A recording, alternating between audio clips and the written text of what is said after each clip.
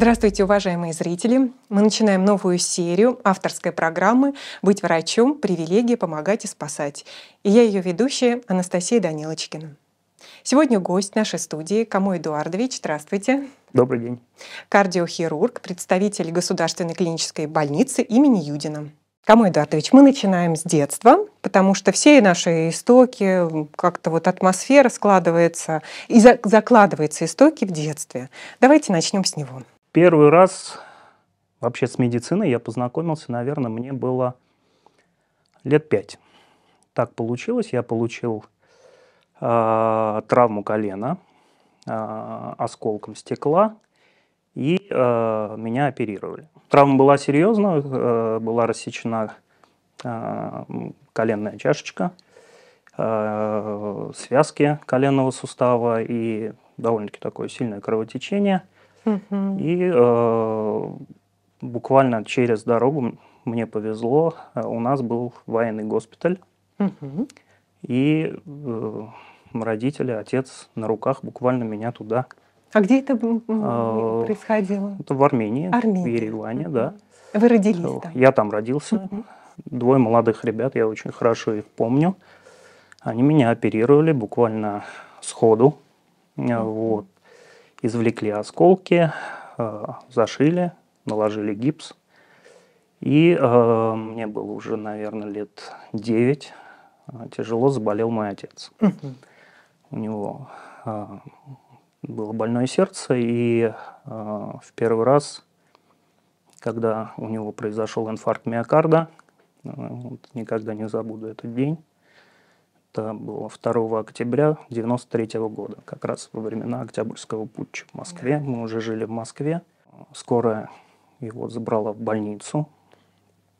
Вот.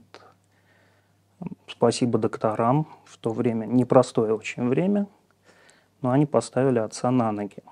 И там э, впервые встал вопрос о возможной операции. И нам очень помог один профессор, а, Рудольф Арцрунович Мавсисян, профессор института Бакулева. Он консультировал отца, и тогда я в первый раз услышал название института, в котором... Да, где вы будете учиться, да. Все правильно.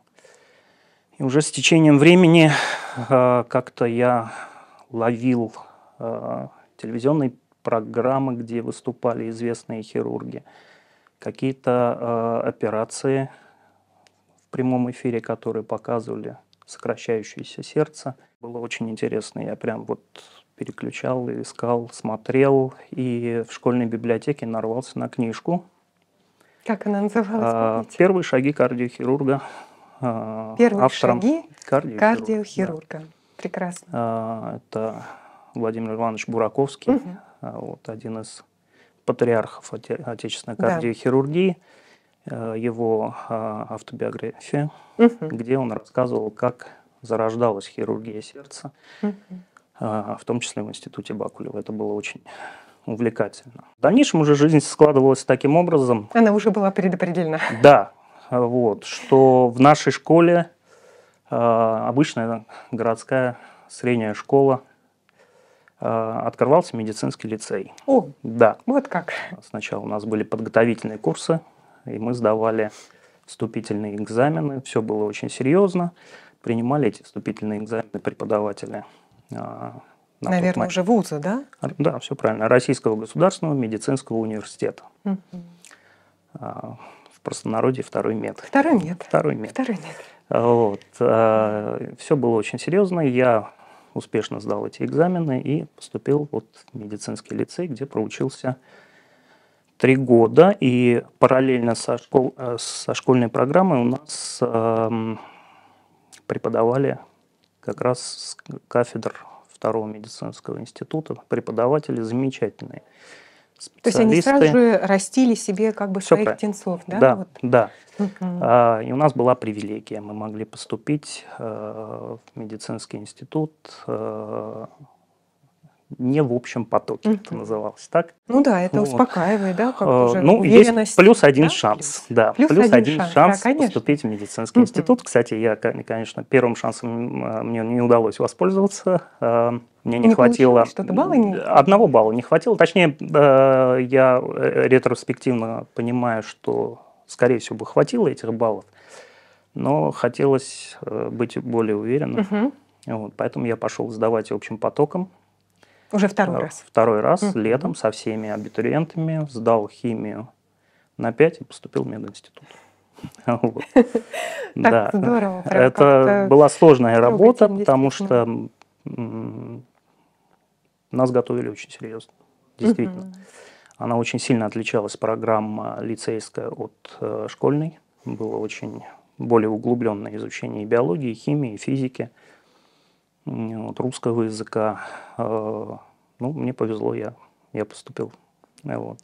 Поступил я в э, 2001 году. 2001 год. Да, 2001 год, педиатрический факультет. Педиатрический. То есть это вы могли Вот. бы стать э, педиатром? Ну, ещё не пока мог, кстати, я по образованию я и- педиатр. искали, да, понятно. То есть Хирургия в дипломе у пока- меня написана специальность педиатрии. Мгм. Вот. а, Естественно, мысли были только о хирургии, но нет отдельного хирургического фак- А, вот факультета. что. да. Мгм. Есть факультет лечебное дело, есть факультет педиатрии и Мгм. несколько э, смежных. э, А какая факультетов. специфика? То есть вот лечебное дело и педиатрия. Вот здесь вот Мгм. э, что разделяет? Какое отличие между этими? э, Отличие в том, что более э, углубленное э, изучение болезней у детей. У детей. Да. Мгм.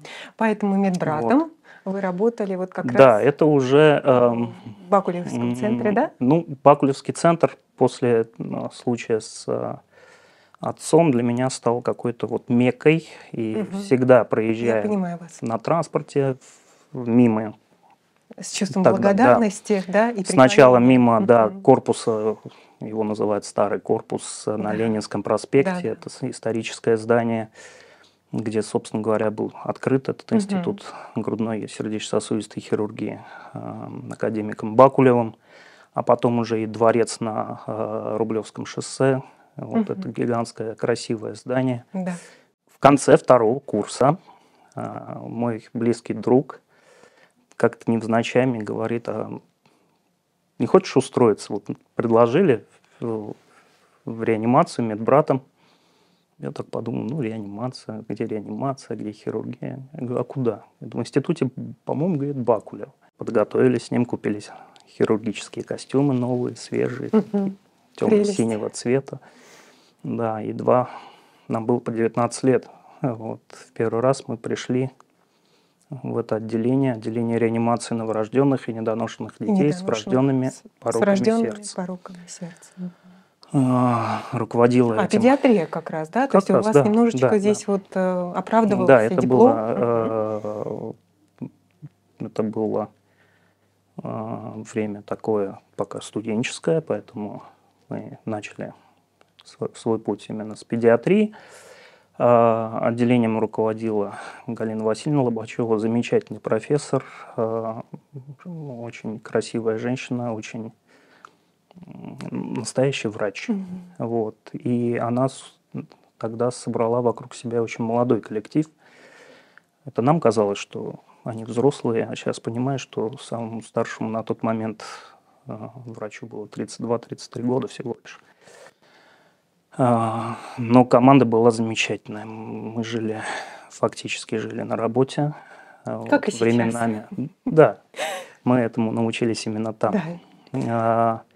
Временами отрывались на учебу и все равно приезжали на работу, потому что все очень переживали, все ам, работали очень скрупулезно. И это, конечно, была школа а, очень сильная. Вообще э, не только медицинская, но и она научила нас всех э, ответственности, в первую очередь, за свою работу. Мгм. И э, это было чудесное время. Мы все были. Вы до сих пор Да, в конечно, глазах конечно. и Мы все до сих пор- конечно. Э, У многих пути разошлись в плане профессиональной деятельности. Кто-то ушел в одну клинику, кто-то в другую. Но мы до сих пор общаемся. Вот, периодически То есть сложилась какая-то медицинская да. семья, да? Ну, у меня и, и там сложилась не только медицинская, И моя собственная, сложилась, да, и личная конечно. семья, там встретил свою супругу. И друзей, очень много друзей. Работа была интересная, очень интересная, работа была очень тяжелая. Она была Ам, связана вот с детьми, да? То есть в основном это дети. Это а это же особая и ответственность, да? новорожденные То есть дети эта с молодая врожденными новая пороками. жизнь, которая, Да, от- к жизнь сожалению, бывает так, от что ваших- природа ам, не до конца а, завершила развитие сердца у ребеночка, и ребеночка рождается с пороком разной степени сложности. А почему мы- это происходит? Вот вы как специалист, что можете сказать? Или это тайна, куда Нет, вот нельзя вникать? Мы не знаем, что мы не знаем. происходит. На Почему? самом деле, где, где Где-то это генетические какие-то мутации, где-то Мгм. это влияние каких-то инфекционных заболеваний у инфекционных родителей, заболеваний. Мгм. где-то это наследственный фактор, э, плохая среда. Но, То есть вот эти 9 месяцев да, созревания Да. плода, да. может вот все что угодно случиться, да? Может Абсолютно. вот где-то быть такая точка, Ну, а, чем пойдет а, что-то позже формируется Мгм. порог сердца, тем его легче лечить. да? Да, потому что есть такой биологический закон, когда онтогенез повторяет филогенез, то есть развитие э, сердца внутриутробно, оно повторяет все этапы развития биологических видов. Да? То есть Мгм. Сначала формируется сердечная трубка, потом она начинает а, в нескольких плоскостях изгибаться, формируются перегородки сердца. И вот э, на каком этапе остановится вот это развитие? а, Никто не знает, да, эти законы, что, ну, что это да. там происходит. Вот, на каком этапе остановится, такой Мгм. врожденный порог в итоге и а, получится. А это лечится? Да. То есть это А, возможно какие-то? Я повторюсь, что если это происходит э, на поздних сроках, да, на поздних стадиях, тем проще, э, тем сформированнее, не проще, это неправильное слово, тем сформированнее сердце, и, естественно, тем меньше э, каких-то хирургических манипуляций может понадобиться, чтобы ребеночка спасти. А как ведь оно такое маленькое, оно это маленькое, сердечко, да, да? да, да. Как с ним работать? Это, же Это, это удивительная, ювелирное, да, это, это ювелирная работа, это очень серьезная работа, и те э, мои коллеги, которые занимаются именно врожденной патологией, это удивительные люди. Все до единого. Я очень был счастлив, что мне вообще удалось это увидеть, к этому прикоснуться и поработать вот этих вот, не побоюсь этого слова, настоящих героев. Потому Конечно. что каждый день они приходят, и они пытаются а, исправить то, что, где ошиблась природа. А, вот. Да. И чем дальше, тем успешнее Мгм. это им удается де- А вы сделать. Я- сами э, сколько провели таких операций? А Я детей не оперировал. А, вы я, просто были я ушел, свидетели эти- да, этих чудес. Да, Понятно. конечно. Мы, мы работали в реанимации, Мгм. занимались в 90% нашей работы. Это был послеоперационный уход. Уже после операции. После Я, операционный. если да. не ошибаюсь, даже диссертация у вас, да, хирургическая, а, как бы вот А, идет. э, Нет, у меня... профилактика, проф- хирургическая проф- профилактика, да, не зря? Они немножко... Мгм. э, ну, в принципе, да. Это, Ну, бли- близко что-то, да, вот к этой. Э, К теме к этой вряд ли. практике. Это близко. Это э, тактическая работа да, Тактическая, для профилактики осложнений уже Мгм. доступов к сердцу Мгм.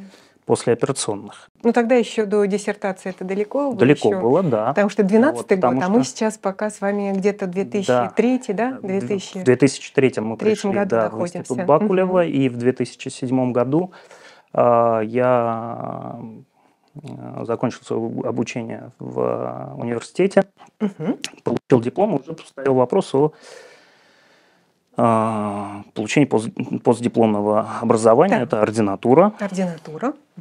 Да, и, конечно, у меня уже как бы вопросов э, не было, какую специальность э, выбрать, я Кардиохирург. кардиохирургия. А вот стажировки Вот. у вас очень интересные. Это и США, Южная Корея, Бельгия. Это Да, что за да. этапы вашей жизни? Вообще это обучение в первую очередь. Э, Общение с коллегами – это в первую очередь обучение. В этом помогают не только книги, не, не только журналы, не только какие-то руководства. Банально, жизнь, э, мы живем в Наша 21 веке. YouTube, Мгм. да, ты можешь посмотреть э, как делалась операция в руках хирургов там 70-х годов. Да, есть записи. Они да, уникальное есть. время. Это э, очень интересно. Ты не мог быть свидетелем этого времени, да, этих операций в то время – но у тебя есть сейчас возможность, конечно, очевидцем, посмотреть, как, э, как угу. оперировали старшие коллеги, угу. основоположники. Это очень интересно. Как он держит инструмент, какой он шов накладывает, почему именно такой шов, почему в этом месте. Это часть обучения. Я слышала от хирурга такое выражение, что каждый вяжет э, по-своему, что это уникально, как и да. отпечаток э, вот э, пальца. Нет, ну, есть вот, стандартные, есть стандартные классические, да, э, классические есть. Стиль, да, как у художника, вот. почерк, да, это так? Да, это, это так. так. А, не, не только вяжет узлы, как держит инструмент, как, как накладывает швы. А, очень э, некоторых сравнивают, как на скрипке играет. Да. да. У кого-то это выглядит чуть-чуть, может, грубо, но на самом деле очень точно. Угу. Каждый индивидуален хирург. Угу. И чем больше ты смотришь, как коллега оперирует, тем больше каких-то моментов мелких, которые знакомы только специалисту угу. узкому, и которые ты можешь оценить и перенять. Понятно. Да, обязательно. Что для вас такой пример? Чих, э, чьим рукам вы как бы вот Знаете, мне повезло. поклонялись? И... Очень много было, в том числе и благодаря тому, что я работал в институте Бакулева и в дальнейшем в институте Вишневского. Угу. Мы отдельно поговорим да, о Вишневском. Да, еще, на моем пока. пути было очень много замечательных хирургов. Вы просто смотрели и брали да, что-то свое. Я... Смотрели и брали Конечно. свое, да? Угу. Институт Бакулева что не фамилия, то легенда. Да. Да, начиная Конечно. от Лео Антоновича Бакерии. Угу. И коллеги, а, которые, старшие коллеги, которые оперировали детей, это Абрамян Михаил Арамович, Рубен Рудольфович Мавсисян, Алексей Иванович Ким, Владимир Николаевич Ильин. Это, ну, мы когда были вот еще студентами, мимо нас они проходили, мы, конечно, вот с придыханием. С придыханием, это конечно. Давид Олегович Берешвили, он замечательный тоже доктор, и когда ты к ним подходил, там просил, можно вот посмотреть, а можно там может поучаствовать. Там, может быть, да, поучаствовать, посмотреть, и, конечно, как легенда работает. Да, Удавалось вот, это, да? Да, конечно. Удавалось. Да. Э, коллеги старшие никогда, в принципе, не отказывали, э, делились всегда с опытом, и это нормально. Угу. Так должно быть. Потому что до тебя кто-то был, и после тебя кто-то будет. И а надо будет. передавать этот путь. Угу. А, нельзя Понятно. останавливаться и э, потом, когда я перешел уже, э, мои взгляды э, вот, перешли в сторону уже взрослой хирургии, это, конечно, в институте Бакулева наш руководитель Вадим Юрьевич Мерзляков, замечательный кардиохирург с великолепной техникой хирургической, э, эрудит хирургический. У него есть чему поучиться, и мне повезло, что я попал к нему в отделение – и, конечно, институт Вишневского. Да. Это, То есть вот ученик, вот. он должен, как вот я слышала, среди врачей ходит угу. такая как бы негласное, негласное правило или девиз, что ученик должен оперировать руками учителя. То есть ты как бы должен его вот, ну не то что повторять, повторять и, и, и повторять тоже, и в то же время быть с ним вот синхронность. Ты должен его руками уже делать. Хирургия же это э, процесс этапный. Этапный. Да, то есть угу. есть этап доступа, есть этап основной, то, что uh-huh. называется, этап закрытия раны. Uh-huh. В кардиохирургии добавляется этап, э, он же основной, искусственного кровообращения, да, подключение аппарата искусственного кровообращения, когда ты уже его отключаешь, когда сердце уже э, Ой, это мы отдельно завелось. Да. Это очень интересно. Это, это очень интересно, это очень красиво, и это, конечно, завораживает. Угу. И вот каждый какой-то этап, э, ты смотришь, как кто-то из старших коллег, э, не обязательно профессоров, а вот молодые тоже ребята, которые просто раньше тебя туда пришли, что-то уже умеют. Угу. Ты смотришь и учишься. Угу. Вот. И он тебе рассказывает. А тебе что-то непонятно, тебе хочется что-то более углубленно, ты уже вот, к профессуре. Угу. Вот. Э, То есть подходишь. у хирурга, у врача очень важно вот этот накопительный этап обучения и накопление, анализ, полученных знаний. Да, Почему? Угу. в каждом конкретном случае именно так поступает хирург. Почему э, кто-то поступает так, а кто-то по-другому. Анализируешь, выбираешь свой метод, который уже в дальнейшем со своим опытом приходит. Да? Но надо знать, чем больше знаешь, тем безопаснее это для пациента. Да, понятно. Вот. То есть хирург это очень ментальная работа. Должен Абсолютно. постоянно анали- Вот. анализировать, Абсолютно. Нет, размышлять, останавливаться делать нельзя. выводы. Как только ты посчитаешь, что ты уже умеешь все, Ну, это заблуждение. это, да? это, это надо останавливать. Надо Вот это тот день, когда надо положить скальпель и выйти. Это понятно, да. Ну хорошо, давайте тогда о Вишневском поговорим, потому что это значит 2000 уже 9 Девятый, 13 2000. э, годы, Да, да, когда да. вы там э, обучаетесь. А, Ну, началось все все равно с института Бакулева. Я закончил обучение в ординатуре, и уже надо было двигаться дальше. Я начал искать работу. Да, и мне хотелось именно работать. Я подумал, что успею еще заняться наукой. Мгм. Вот. И так получилось, что у у нас был, а, ну, мой друг по ординатуре, на год старше меня, он устроился работать в институт А у Вишневского. вас всегда так в судьбе кто-то вас ведет, Конечно, кто-то появляется это- и ведет вас по пути. Это, это очень э, как-то все выстраивается. Да, Когда выстраивается. анализируешь уже ретроспективно, ты понимаешь, что, Что наверное, так зря, должно было быть. Все должно было Абсолютно. так и только так. Вот. а, Я искал. м, Это, поиск работы – это такой трудный путь. Согласна. Да. А, И вспомнил и говорю, «Мгм, да. Э, Позвонил ему, я говорю, Тимур, ищу работу. Вот. Он говорит, нам как раз нужен, наверное, человек, давай я поговорю с профессором. У нас формируется молодая команда, наверное, нам нужен еще один человек, потому что а, рук не хватает. А на, на этот момент вы имели уже специализацию Сердечно-сосудистой хирургии. хирургии? Я выпустился из ординатуры, Мгм. получил сертификат специалиста и вот э, имел право Ну, работать. претендовать уже на вот Да, да, работать должность э, какую-то. кардиохирурга, да? Кардиохирург, Кардиохирург. сердечно-сосудистым Мгм. хирургом. Да. Как факультет И- этот назывался в институте Вишневского? Это, Также- это не факультет, это отделение. было. Отделение. Отделение, да. А. Факультет, э, это вот на Западе называется департмент. Департмент. Да, Мгм. да. Мгм. Э, за- Отделение это отделение кардиохирургии. кардиохирургии. Мгм. Надо сказать, что это первое отделение в Советском Союзе. Первое отделение хирургии сердца. хирургии Да. сердца. Прекрасно. А, Красиво звучит, да? Да, потому что именно Александр Александрович Вишневский в 50-х годах выполнил первую операцию с искусственным кровообращением в Советском Союзе. Да. Поэтому Даже сохранилась хроника, где вот он Да, делает конечно, эту операцию. конечно. Легендарно. Вот. И, э, естественно, когда ты увлекаешься историей кардиохирургии, когда ты э, весь в этом. Весь в этом, да. Ты идешь к этим истокам. Вишневского, это было то же самое, вот когда я в студенческое время попал в институт Бакулева, это было для меня очень, Тот же экстаз такой. очень да, волнительно, да. Мгм. И э, по- коллега поговорил, Тимур, мой друг, сейчас работает в Австралии хирургом. Приходи, у нас формируется Мгм. вот, молодая команда, и будет интересно. Поговорил с профессором, заведующим отделения.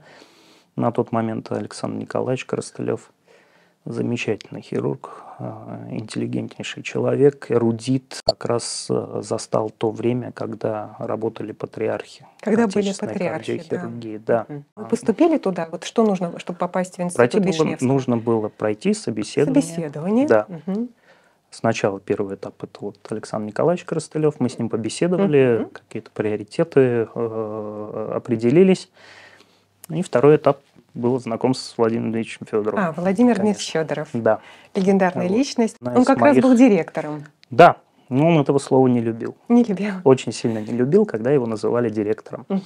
Особенно, когда ты просил его проконсультировать, посмотреть и с ним советовался, а потом на конференции, если ты скажешь, что пациент консультирован директором института Владимиром Ильичем Федоровым, он мог пожурить за это.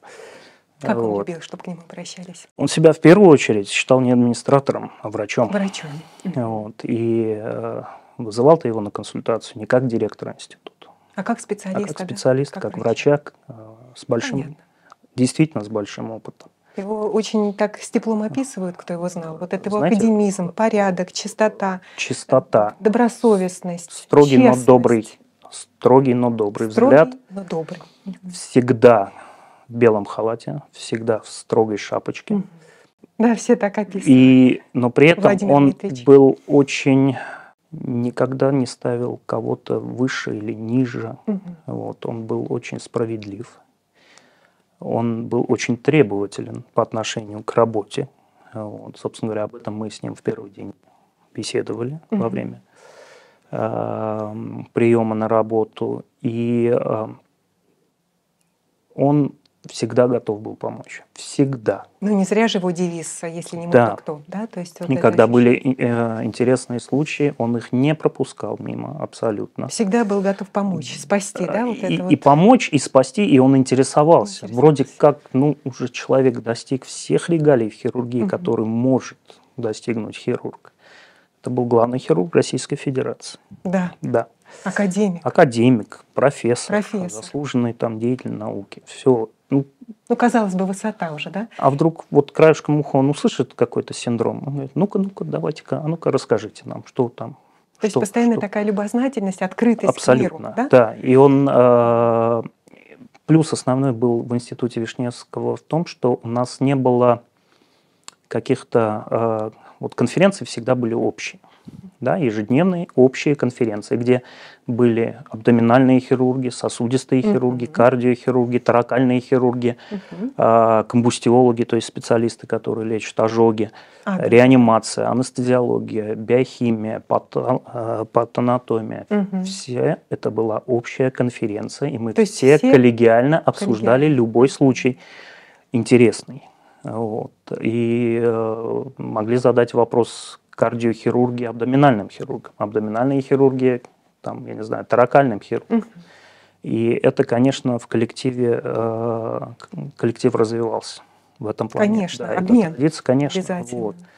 То есть институт А, и Вишневского вот при это вот Фёдорове, да? мультидисциплинарный подход Мгм. в институте Вишневского, он был, конечно, очень интересен, особенно для молодых ребят. Мгм. Вот. И Владимир Дмитриевич, он как бы это все Он был- поощрял, и благодаря ему это А, все как бы вот Да. воцарялось. То есть Понятно. это была какая-то вот Общая внутренняя традиция, да, традиция.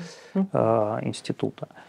Это было хорошее время, и там, конечно, работали легендарные хирурги. Сан Саныч Вишневский-младший. Вы видели? Вот. Это Видел и работал, и даже за операционным столом с ним стоял несколько раз. Это очень... э, Это был Наверное, мастер. одно из это был мастер. да? Это был мастер. Вот. Академик Арнольд Арамович Адамян. Мгм. Вот. Э, Очень хороший хирург. Очень теплый человек.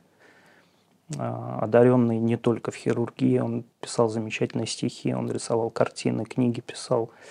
Художник, это- поэт, то есть был Да, так да, да. многогранный. Как он рассказывал, что у него перед после школы был выбор поступить в консерваторию или в медицинский А, вот институт. как. Да, и это, э, это здорово. Анатолий Владимирович Покровский. Покровский, Да, конечно. академик Покровский. А вот вы это- видели э, труд этих э, гениев, не побоюсь этого слова, Да. и, высокопарности. это А что-то вот э, чем-то отличалось? Вот какая-то уникальность? Вот что, Спокойствие всегда. спокойствие. То есть А, э, люди знали уверенность от наших А, знаний. Абсолютно. Да? Э, Правильно? Они были уверены, не боялись ошибаться. Мгм. Владимир Дмитриевич.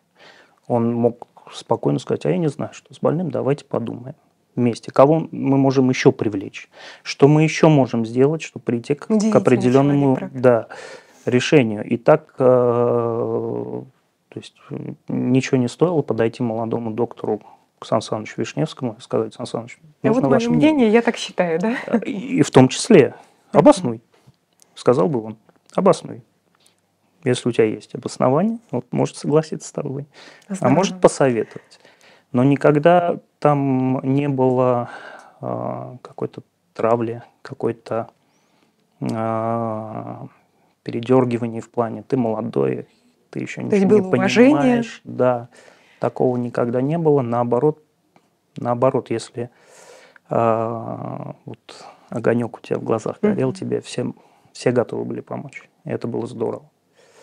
Удивительное место вот при Да, там Фёдорове, э, конечно. за забор, когда заходишь вот на Большая Серпуховская, дом 27. Я знаю, о чем вы говорите. Вот. Там совершенно другой мир. Ты как будто попадаешь в иную вселенную. Вы защитили там диссертацию, Да, да? Потому что 12 В год, 12 год э, хирургическое надо было уже как бы, название видите, работы.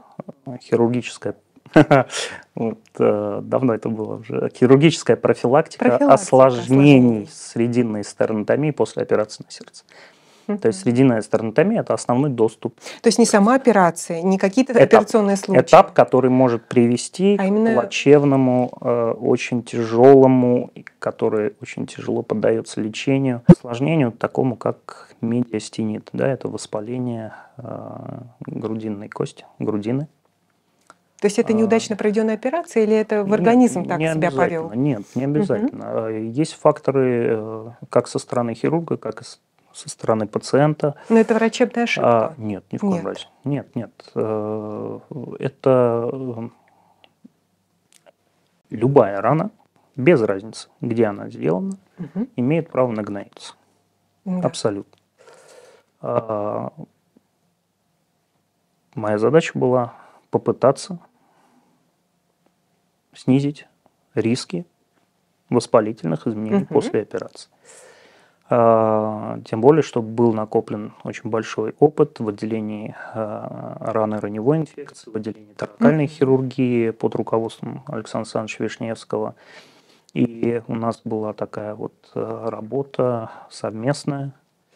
А, Он занимался уже как раз осложнениями, а мы пытались этих осложнений не допустить. А в чем заключается профилактика? Вот А, Применение различных методов ушивания э, грудины, да, то есть э, путь к сердцу человека лежит через распил грудной клетки. Существуют различные методики вот сшивания э, грудины, это остеосинтез называется, да, то есть э, сшивание кости. Э, Основным методом является и- использование стальной проволоки, специальная стальная хирургическая проволока. Э, Есть методики ушивания специальными нитями, специальной леской. И э, есть... А более современные технологии что-то добавилось Э, здесь? Да, вот как Да? раз мы э, на тот момент э, применяли, и сейчас очень успешно применяются э, специальные фиксаторы э, грудины из э, такого интересного сплава никелит титана. Да, это сплав, э, с так называемый металл с эффектом памяти формы. То есть при Эффект определен- памяти, памяти формы. формы. То есть Да. э, То есть при запоминает- определенных температурах металл становится мягким. Мгм. Когда температура меняется, металл принимает исходно заданную форму. Ух ты. Да, и при помощи этих вот э, скоб мы сшивали грудины. Это мы не первые, вот, но у нас был довольно-таки весомый опыт, который мы решили э, проанализировать. Мгм. Вот. Ну да, сердечко, оно уже прячется. Чтобы туда добраться, нужно Конечно. раскрыть тело. Ну что для Скорее вас всего. кровь? Вот эта жидкость такая. Вот как вы себе это объясняли в детстве или уже сейчас? Это же не просто У меня кровь, никогда не было страха Это же не кровью. просто э, как бы жидкость, которая окрашена красным цветом. Это же Нет, это, это, это орган. Кровь это орган. Э, Кровь это орган. Да, ну на самом деле это вот э, не совсем точно орган, это ткань. Ткань Да. такая. А, Текучая. ткань, где есть свои клетки, есть свои законы, есть э, очень много э, факторов, которые до сих пор до конца не изучены. Функций у крови, как у ткани, множество. Ну, И- перечислите, очень интересно, ну, хотя бы несколько. Ну, Самое основное это транспортная функция, Мгм. да, то есть транспорт питательных веществ и кислорода. И кислорода. Да. И, собственно Малый говоря, ишемическая болезнь сердца или любого другого органа как раз это недостаточный э, обмен, да, вот, э, недостаточный транспорт крови и транспорт вот этих питательных веществ, в первую очередь кислорода. А, это и есть ишемия. Мгм. Да. Кстати, в гуморальную Вот. теорию хорошо вписывается. Там же как считалось, что если э, жидкости много или что-то нарушается этот баланс, то происходят все болезни. Поэтому спускали кровь. Да, ну это, зря же. это древ- э, Древняя Греция, это Средние Рим, века, э, средние вплоть века до вплоть 19 до, века. до 17 наверное, Мгм. все-таки века. Ну, что-то все-таки были там догадки все э, этих умов? Я думаю, да. Да? Я думаю, что Мгм. какие-то догадки были, просто, э, во-первых, не все публиковали свои догадки. Во-вторых, э, что-то могло быть утеряно. И, э, в-третьих, э, догма. Ведь э, предло- Ну да, предложенные да, мысли э, Клавдием Галеном, Мгм. они э, э, в церкви были приняты как э, табу, и это нельзя было э, нарушать, нельзя было вскрывать. Ну да, Нельзя. тайное, божественное Да, здесь да, нельзя на, трогать. на протяжении практически 15 веков. И э, с открытием уже венозных клапанов, с открытием движения крови, ведь считалось, что левые отделы, они пустые, они разносят душу по организму.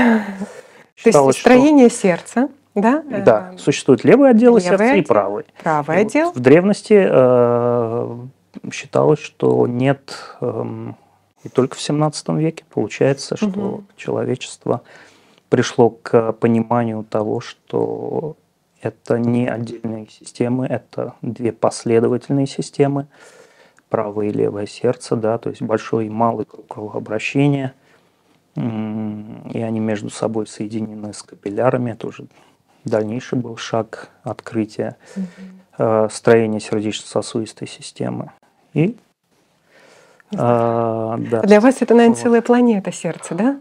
Непознаваемая причем. Или вы уже как вот хирург знаете его? Да нет, Ошибаюсь. нет мы, мы, мы знаем анатомию сердца. Анатомию, да, только анатомию, знаем. но не его закон. А Вот сердце, как это ж, если по-простому, это мышечный насос. Мышечный насос, мышечный насос, который э, начинает э, работу свою еще в утробе матери. Это удивительно сильная мышца. Вот когда ты держишь человеческое сердце в руках во время операции, оно сильно. Это, это впечатляет. да? Еще бы. да. Но э, дело в том, что законы, несмотря на то, что мы умеем сейчас практически э, с хирургической точки зрения лечить большинство заболеваний сердца. Но иногда оно решает само, заведется оно или нет. Вот. Каких-то знаний пока что не хватает. И, конечно, мировое сообщество, оно работает над этим. Э, Наука и коллеги э, начинают предлагать новые методы вспомогательного кровообращения, чтобы дать сердцу немножко отдохнуть. И э, в надежде, что в дальнейшем оно сможет уже вернуться к своей обычной работе. А, Либо дотянуть до момента, когда ты уже понимаешь, что это сердце никогда, никогда не заведется, довести пациента до трансплантации сердца. М, Вот. Вот э, Это так называемый мост к трансплантации сердца. Да? Каждый день в различных э, направлениях нашей работы, и в приобретенных пороках сердца, и в ишемической болезни сердца, и в хирургии э, сердечной недостаточности появляются какие-то новые идеи, новые мысли, и это здорово. А вы в ваших операциях и э, останавливали сердце и запускали, да? То есть это суть вашей работы, по сути. Все зависит от той операции, которую ты выполняешь. Есть э, операции, которые не требуют подключения искусственного кровообращения. Их можно сделать на работающем сердце. Даже операция аорт-коронарного шунтирования, э, она выполнима как в одном виде на остановленном сердце, так и э, совершенно э, успешно выполняется на работающем сердце. Э, И аппарат искусственного кровообращения просто в уголочке стоит на готове. Но А как Вот. вы останавливаете этот насос? есть эм, такое словосочетание, вот, э, паралич сердца. Э, по- По-научному звучит как кардиоплегия. Мгм. То есть это специальные растворы на основе ионов калия с добавлением различных компонентов. Мгм. И во время подключения искусственного кровообращения пережимается восходящий отдел аорты специальным зажимом и э, перекрывается кровоток в сердечной мышце. Мгм. То есть мы полностью А как же человек при этом живет? Вот. Э, И есть, э, человек может прожить при таком пережатии буквально несколько минут. Несколько минут всего да, дается, уже да, потом, врачу? потом э, возникают необратимые изменения. Мгм. И вот ученые пришли э, к таким умозаключением, что если вводить в коронарное русло специальные препараты, которые останавливают сердечную деятельность, а если сердце стоит, то ему не нужно в этот момент столько кислорода. Да? Почему? А. Потому что кислород тратится тогда, когда мышца работает. М, Если точно. мышца в этот Понятно. момент не работает, она в меньшей степени нуждается в кислороде и в других питательных веществах. Мгм. И вводится специальный консервирующий, скажем Мгм. так, раствор, который называется кардиоплегический раствор, который э, охлаждает сердечную мышцу. К этому очень долго шли и поняли, что низкие температуры э, Ну, защищают. эко- экономический режим такой, да? Ну, Фактически, да, фактически. такой. Мгм. То, И вы выигрываете какие-то минуты. Hold режим. А. да. И вы выигрываете какие-то минуты, да? То есть Вплоть до трех часов. до трех Да, часов. да, да. Потому что некоторые большие реконструктивные операции могут э, потребовать длительного времени. Но сейчас э, уже э, кардиохирурги научились останавливать сердце на большее количество времени, и это позволяет практически сделать любую операцию. Вплоть до того, что есть методика так называемого циркуляторного ареста, когда кровообращение останавливается в организме вообще. Вообще. Вообще. Что происходит с человеком в этот момент? Это кукла. А, Значит, фактически это анабиоз, то есть э, это смерть. Такая в кавычках. Пациент охлаждается до 24 и даже иногда ниже градусов. И для выполнения какой-то манипуляции мы должны остановить полностью кровообращение. И в этот момент останавливается аппарат искусственного кровообращения, и в среднем где-то 30 минут плюс-минус есть время для выполнения какого-то этапа, хирургических, да? как- какого-то Мгм. этапа операции, и потом потихонечку анестезиологи э, и специалист, который занимается искусственным кровообращением, это отдельная специальность, очень интересная, перфузиология. Вот, начинают согревание больного и э, Размораживание по-другому. Фактически, да, фактически, ну, так оно и есть. И э, здесь, конечно, очень большие шаги сделали наши коллеги анестезиологи, реаниматологи. И, собственно говоря, развитие всей кардиохирургии, оно шло ногу, э, в ногу с развитием анестезиологии и Мгм. реанимации. И здесь... э, Ну, вы да, в дуэте, получается, работаете, а друг Один без друга поле не практически воин. даже, Это наверное, существуете. Абсолютно Мгм. должно быть полное понимание как анестезиолога с хирургом, как и со стороны хирурга с анестезиологом. Этот тандем Это очень парные важен. такие, да, даже Абсолютно. Это, ну, э, то есть Тандем, да, очень здесь трое. слово. Тут еще и специалист-перфузиолог. Мгм. Вот нам повезло в нашей клинике в больнице Юдина у нас э, все анестезиологи, они же и перфузиологи, они же и реаниматологи.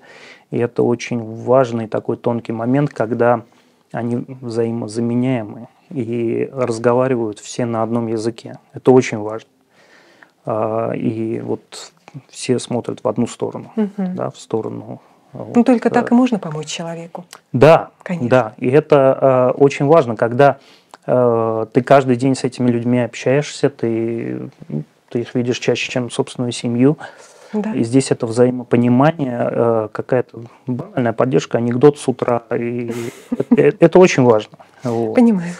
Потому что если человек, который пришел с тобой работать, э, зайдет хмурый, в своих мыслях, какой-то загруженный, э, не будет этого взаимопонимания. Он может там мимо ушей что-то пропустить. У нас этого нет. Мы всегда вот вместе там что-то на телефоне можем показать, какую-нибудь смешную картинку, да, там поделиться Ну, какой-то понятно, да, новостью. это- это очень, на самом деле, это очень важно в операционной. Когда э, Вы должны думать одинаково. абсолютно Слышать, чувствовать. а, друг. И отзыв вот этот вот очень важен. Мгм. Вот. Не, Наверное, не- нет тут главного в операционном. Главный в операционной на столе лежит. Мгм. И вся эта работа должна быть Да. направлена на, Его в спасение. первую очередь, его спасение. Вот. Потому что именно кардиохирургия – это хирургия спасения в первую очередь. Это не это не эстетическая, скажем, медицина, когда ты помогаешь человеку совершенно в другом. Здесь ты действительно от твоих действий в прямом смысле зависит ему жизнь. жизнь. Вот. История хирургии сердца. Расскажите. Угу. Во-первых, это самая драматичная э, хирургия. Почему? Потому что вплоть до конца XIX века э, вопроса о хирургии сердца не стоял. И э, доктора считали, что сердце неприкосновенно. Угу. Были какие-то отдельные сообщения э, о попытках ушивания ран э, сердца или сердечной сумки. Но э, вопрос о каких-то уже э, конкретных операциях не стоял. С середины 20 века э, началось это с экспериментальной хирургии. Э, и э, это конец 30-х, начало 40-х. И э, хирургия сердца была делом очень опасным. Э, до практически 90% летальных исходов при вмешательствах на То сердце. есть это риск колоссальный. И это был, mm в то время это был колоссальный риск, и тех хирургов, которые решались на это, даже коллеги отговаривали. Да, ну, то есть идти, наверное, смерть, потерять, наверное, Абсолютно. Потерять э, и пациента, и уважение своих коллег. Вот. И первооткрыватели хирургии сердца, которые э, решались на это, это, конечно, удивительные были люди. Которые смогли взять на себя такую ответственность, риск. Ответственность, мысль может, хирургическую. Потому что, э, скажем, та же история развития э, хирургии врожденных пороков сердца, угу началась с идеи э, очень красивой женщины-кардиолога, которая занималась лечением как раз вот синих мальчиков с заболеваниями, таким как вот самое основное, известное на слуху, это тетрада фало. И она пришла с предложением к хирургу, угу. вот, Альфред Блелок, и они вместе разработали в эксперименте сначала – разработали операцию, которая прямо на столе операционном а, переводила синий порог практически. Кожа разовела прямо на столе, и, а, по-моему, 38 год. А в чем патология? То есть что, а, почему это синюшный цвет возникает? Дело в том, что кровь смешивается. Из-за наличия э, стеноза клапана легочной артерии, да, то есть на выходе угу. из правого желудочка сужение наличие большого дефекта э, межжелудочковой перегородки, то есть это перегородка между левым и правым желудочком, не должно быть э, никаких отверстий. Угу. Оно должно быть полноценной То есть перегородкой. как коктейль. Абсолютно. В принципе, да, условно говоря, именно вот так. И угу. кровь, э, еще не обогащенная кислородом, попадает в большой круг кровообращения. И кожа приобретает синю, синюшный оттенок. Такие вот губки у малышей, синие ушки, носики. Вот, они так, вот, такие называются синие мальчики. Угу. Вот. Так. И это была революция, конечно, потому что долгое время он работал, он думал совместно со своими ассистентами, они разрабатывали, как можно вернуть кровь, обогащенную кислородом, в общий кровоток. И это им удалось. И, конечно, это была фантастика. Первый порог, который был оперирован, это перевязка артериального протока. Потом э, хирурги начали э, думать в сторону более сложных каких-то вмешательств, и им нужно было время для того, чтобы добраться до какой-то патологии и исправить эту патологию. Здесь, конечно, работали и наши отечественные хирурги, экспериментаторы, и э, зарубежные пришли к выводу о необходимости какого-то инструмента, который бы позволял на время э, отключить сердце от общего кровотока. И здесь э, бурное развитие после изобретения аппарата искусственного кровообращения. Потому что еще в 30-х годах в нашей стране э, были предложены такие аппараты. Вот ученый по фамилии Брюханенко, его первый автожектор так называемый, угу. позволял это делать в эксперименте. А до этого это не существовало такой нет, даже практики нет, нет, в этом? Даже мысли не было, даже что мысли? можно что-то такое предложить. И первые вот эти эксперименты, конечно, на собаках, почему Кардиохирурги к собакам очень тепло относятся, потому что именно... Они вам очень помогли. Они не нам помогли, они помогли нам, пациентам. точнее, нам, да. пациентам.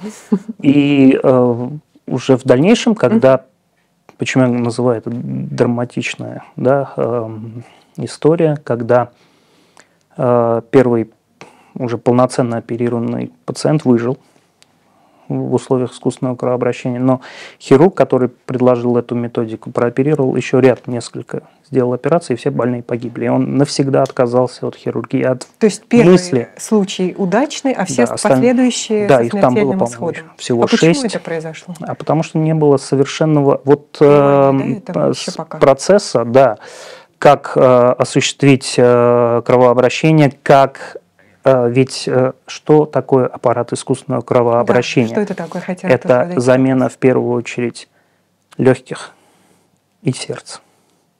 Потому что должен осуществляться газообмен. Mm-hmm. Да? Мы из организма забираем венозную кровь, насыщаем в аппарате кислородом и возвращаем обратно. Да, а, и вот а, устройство, которое э, насыщает венозную кровь кислородом, превращая ее в артериальную, называется оксигенатор. И вот этот оксигенатор у этого доктора был не очень совершенен. Это были первые шаги. И он навсегда отказался. Вот. И уже потом э, были предложены методы, был такой э, один из э, основ, он основоположник, Уолтон Лилехай. Он предложил использовать вместо этого оксигенатора организм родителей. Mm-hmm. То есть кровь от ребенка забиралась. Как донор, да? Абсолютно. При помощи прямое? аппарата. Нет, это, это, не прямое. это аппарат. Он mm-hmm. забирал венозную кровь, mm-hmm. э, легкие мамы или папы насыщали кровь кислородом, и эта кровь возвращалась ребенку. И это очень опасная ситуация, потому что можно потерять и, того, и ребенка, и, и маму. А, но, тем не менее, он сделал ряд этих операций, сделал ну, довольно-таки успешно на тот момент. Вот. И а, уже пришли к выводу, что нужен оксигенатор. Это удалось а, создать пузырьковый оксигенатор. Я, ну, основные работы у патриарха американской кардиохирургии был такой Кирклин, э, великий ученый и эм, популяризатор метода искусственного кровообращения. Вот он совершенствовал, э, э, усовершенствовал аппарат искусственного кровообращения и в первую очередь оксигенатор, так называемый пузырьковый. И хирургия сердца начала развиваться очень бурно. Mm-hmm вот, во всех направлениях. И э, основные все операции, бурное развитие, популяризация этих операций – это 60-е, 70-е uh-huh. годы. И здесь имена, конечно, великих кардиохирургов, которые э, и наших, и зарубежных работали все в, в, параллельно. И много у нас имен очень известных, в том числе в мире. Да, это Владимир Иванович Бураковский, это профессор Амосов, академик Амосов, это э, профи, академик Мишалкин в нашей стране, э, ну, Леон Антонович Бакерия, э, да, да, конечно. академик Подзолков. Это люди, То есть это которые... недавно, да? То есть это такая вот хирургия сердца меньше ста лет. Меньше ста лет. Такой взлет да, просто там, там произошел Вы добрались прямо до источника как, жизни. Как только э, ученые смогли э, вот, осуществить переход вне организма венозной крови в артериальную, это произвело бум. Конечно, в хирургии. Революция, Это революция, революция. Это настоящая революция, да. да. И э, в медицинском сообществе обсуждался вопрос, почему тем первооткрывателям искусственного кровообращения не присудили Нобелевскую премию. Да, почему? Ну, до сих пор не знаю.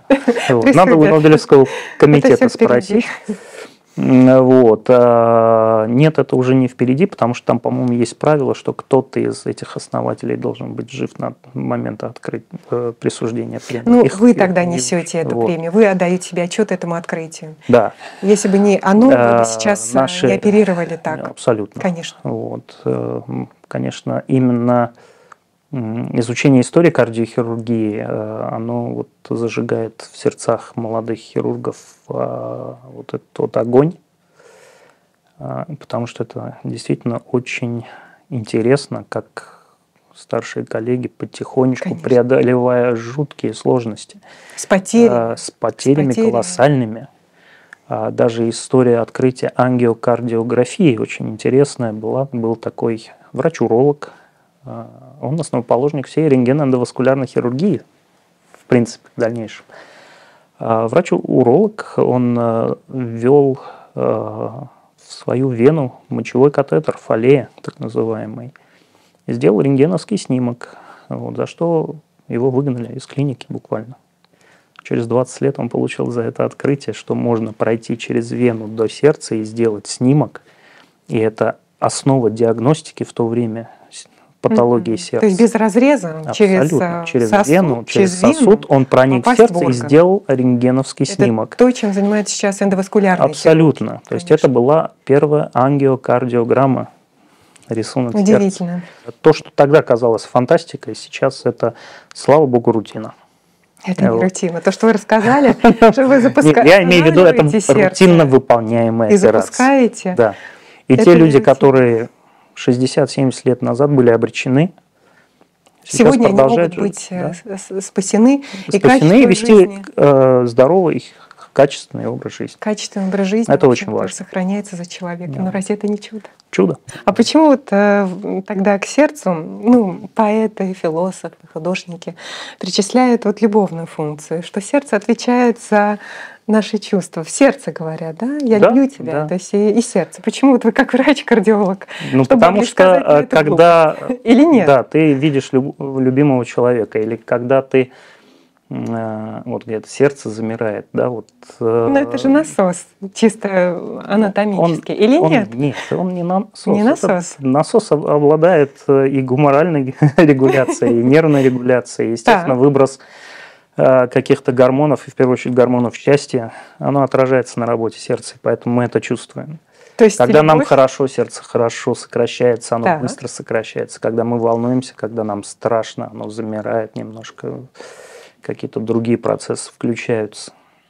То есть любовь, она живет в Я же сердце. говорю, оно сильный орган, но очень чуткий орган. Очень чуткий Да. орган. И любовь там живет. Конечно, Об- обязательно. И любовь, и, И все наши переживания. и переживания, и опыт. Я всегда у родственника спрашиваю, вот, э, каким вы, ну, своего папу, дедушку или маму с бабушкой, какие они были, вот, люди до операции. Зачастую, вот особенно при ишемической болезни Мгм. сердца, когда вот мы говорим, что рубцы, да, это очень активные люди, очень Мгм. переживающие эмоционально. Все. Это э, такие вот, то, что называется, живчики. Вот, э, зачастую у этих людей из-за вот сильных эмоций, сильных переживаний э, вот сердце, оно такое. Расплачивается, да? Да. Потому что за все в нашей жизни, в первую очередь, мы расплачиваемся своим собственным здоровьем. И своим собственным сердцем. В первую очередь, В первую очередь. центральный орган, конечно. Хорошо. А что бы вы пожелали нашим зрителям, как вот кардиохирург, человек, который отвечает за сердце, видел его изнутри, знает его работу, останавливал его, запускал его. Вот что нужно? Ведь не, не, не, не любить мы не можем. Мы, мы чувствуем, мы будем переживать. Вот чтобы сохранить этот важный такой орган.